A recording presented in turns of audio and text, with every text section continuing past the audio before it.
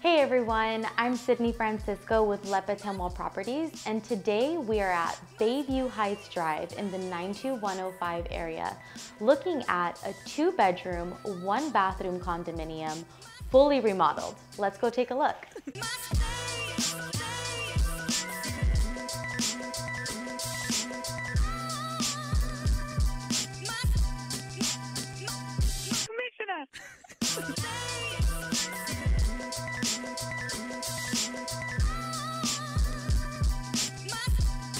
So if you're interested in a private showing or you would like pricing information, please comment below or direct message us.